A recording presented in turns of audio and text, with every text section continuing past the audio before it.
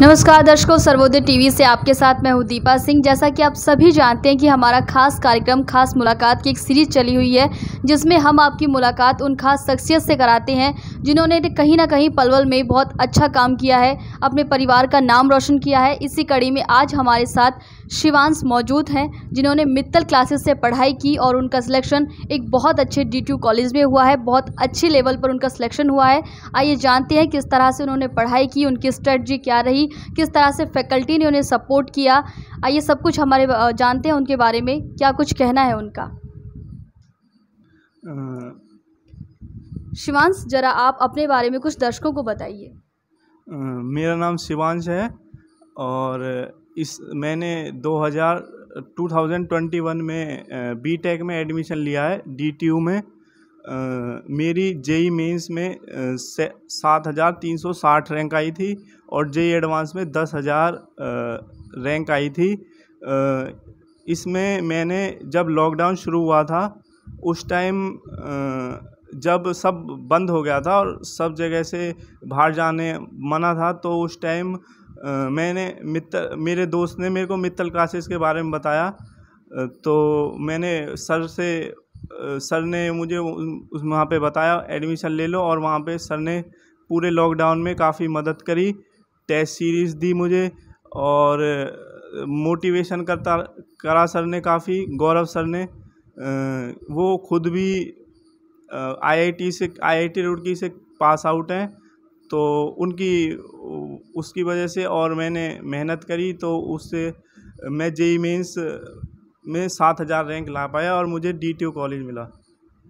शिवांश आपसे बात करें स्टडी मटेरियल की तो किस तरह से आपको क्लासेस से स्टडी मटेरियल मिलता था? आपकी स्ट्रेटजी क्या रही थी तैयारी के दौरान? वो सर ने ही अरेंज करे थे। बाकी मैं नॉर्मल पहले तो एन वगैरह वो तो करता ही था। और बाकी सर रेगुलरली डीपीपी शीट्स वगैरह क्वेश्चंस देते रहते थे। जो भी चीज़ में मुझे थोड़ा डाउट और वो लगता था कि ये थोड़ा वीक पॉइंट है मेरा तो वो सर उसको आइडेंटिफाई करके उसमें क्वेश्चंस सॉल्व करवाते थे और हर एक वीक में, क्योंकि लॉकडाउन था तो सर ऑनलाइन टेस्ट सीरीज़ भी चालू करी थी सर ने तो वो हर वीक एक टेस्ट होता था जेई मेंस का और मेंस के बाद जेई एडवांस का भी सर ने काफ़ी paper one paper two test होता था और टेस्ट के अगले दिन रिज़ल्ट के बाद उसका डिस्कशन भी होता था। तो सर ने मदद करी। अच्छा ये बताइए जैसे आप तैयारी करते थे उस दौरान कभी आपको ऐसा लगा कि मुझसे नहीं होगा या कभी आपने ऐसे डीमोटिवेट टाइप में महसूस किया? तो उस दौरान आप फिर खुद को कैसे संभालते थे? कौन आपको मोटिवेट करते थे कि नहीं आप कर सकते हो तैयारी करनी है? उस दौरान कैसा आप महसूस करते थे?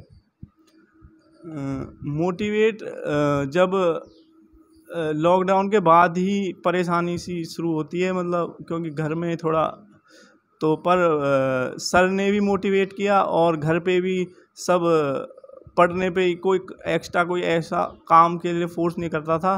सर मोटिव मदद ही करते थे कि तू पढ़ाई कर ले। और सर ने भी काफ़ी कहा और बाकी फ़िज़िक्स वाले सर और मैथ वाले सर वहाँ पे हैं। केमिस्ट्री वाले सर ने भी थोड़ा बताया पढ़ने के अलावा कि ये पढ़ लो वो मदद करते थे कि हो जाएगा तो वो उस टाइम सर ने मदद करी काफ़ी। शिवांश अक्सर देखा जाता है कि बच्चों में एक ये रहता है कि जो भी तैयारी करता है या फिर जिसका सिलेक्शन होता है कि कितने घंटे हमें पढ़ाई करना चाहिए। बेसिकली इस क्वेश्चन सभी का होता है। तो अगर हम आपसे जानना चाहें कि आप कितने घंटे पढ़ाई करते थे उस बारे में थोड़ा कुछ बताइए। पढ़ाई का ऐसा है कि ऐसा कोई फिक्स नहीं है। आपको जो भी पढ़ो मतलब एक घंटा भी पढ़ो तो उसको ढंग से पढ़ो, क्लियरली पढ़ो। जैसे जेई मेंस का तो ऐसा होता है कि हमें पूरा सिलेबस कंप्लीट करना होता है। तो उसमें तो मैक्सिमम मैक्सिमम सब कुछ करना ही होता है। पर जैसे जेई एडवांस का है, उसमें बेशक हम दो घंटे भी पढ़ रहे हैं तो उसको जब तक कंसेप्ट क्लियर नहीं हो जाता, उसी चीज़ को पढ़ो। उसमें काफ़ी प्रैक्टिस करो एक ही टॉपिक में ही और इसलिए टाइम तो बहुत ज़्यादा चाहिए चाहिए। तो लगभग पाँच छः घंटे भी एक दिन में पढ़ेंगे बहुत होता है पर ढंग से पढ़ना होगा। अच्छा शिवांश आप जो दर्शक अभी देख रहे हैं या कुछ बच्चे आप ही के तरह के होंगे जो तैयारी कर रहे हैं जिन्हें सही दिशा नहीं मिल पा रही है जो एक राइट इंस्टीट्यूशन ना मिलने की वजह से अभी फ़िलहाल टेंशन में है उन्हें ये भटके हुए हैं कि कहाँ जाना है तो उन बच्चों को आप क्या कुछ सुझाव देना चाहेंगे?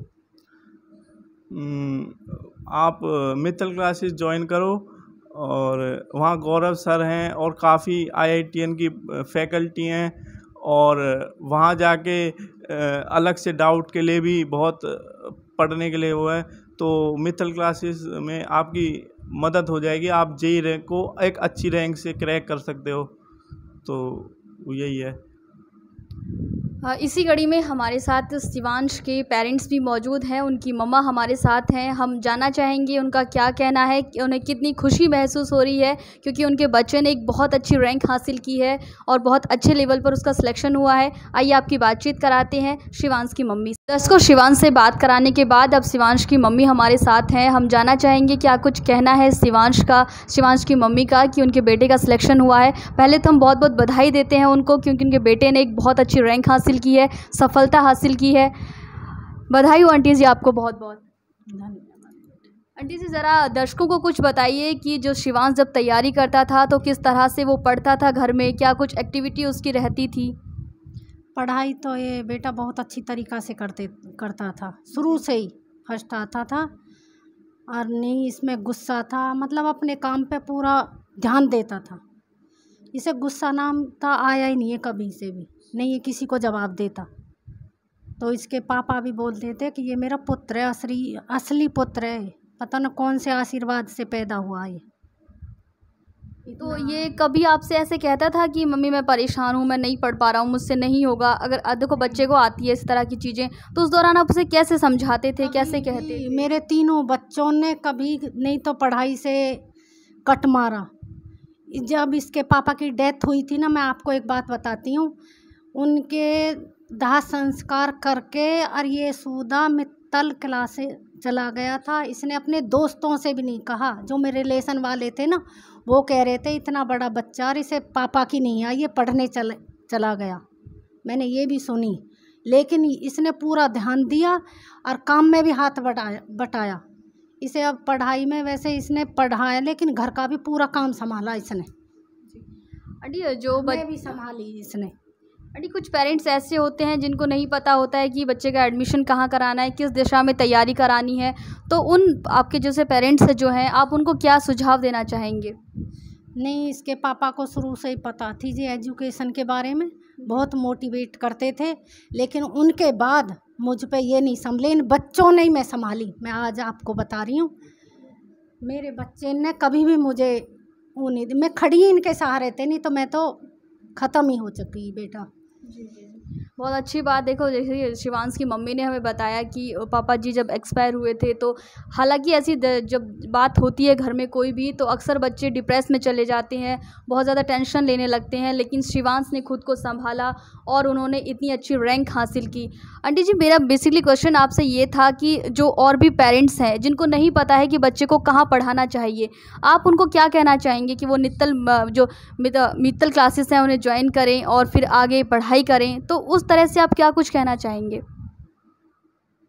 मैं तो यही कहना चाहती हूँ कि अपने बच्चों को ध्यान दें मोटिवेशन दें और मित्तल क्लासेस भेजें। जे ई एडवांस के लिए जो ये बहुत अच्छी तरीक़ा से पढ़ाते हैं मोटिवेट करते हैं।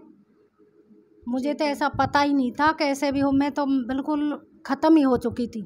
लेकिन इन्होंने कैसे परमात्मा के उससे वहाँ गया ये तब इसने तो मतलब मित्तल क्लासेस में जब ये बच्चा पढ़ने के लिए गया तो टीचर्स ने बहुत अच्छा सपोर्ट किया हाँ और उसे मोटिवेट किया उसको सही गाइडलाइन दी तब जाके उसने अपनी अच्छी से तैयारी की। जी।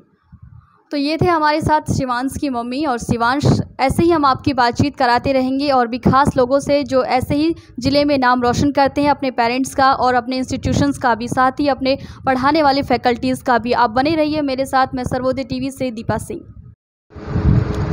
दर्शकों, हमने शिवांश से आपकी बात कराई, शिवांश की ममा से आपकी बात कराई। अभी इसी कड़ी में हमारे साथ शिवांश की दीदी भी मौजूद हैं। आइए जानते हैं उनका क्या कहना है, शिवांश के बारे में किस तरह का स्टडी स्ट्रेटजी उन्होंने अपनाई थी और कैसा उन्हें अभी फील हो रहा है इतने अच्छे शिवांश का सिलेक्शन लेने के बाद। Congratulation ma'am thank you very much तो as you all know that I am sister Shivansh Bhardwaj what I uh, want to tell uh, about him is uh, I used to study in class 10th. I used to ask ask questions from him that uh, what is the solution of this problem? And I never knew that what is the solution of this problem and he always answered me the you have to solve this, uh, this question like this way. I used to study in class 12th I don't even know even a single question so his pra uh, practice makes perfect. This is a statement which uh, which is a famous statement. Uh, what happened is he is so uh, you, you know you know used to do practice in his work. I never do practice in my questions and uh, the various subjects but he always does practice. And when i ask him a question he always there to answer me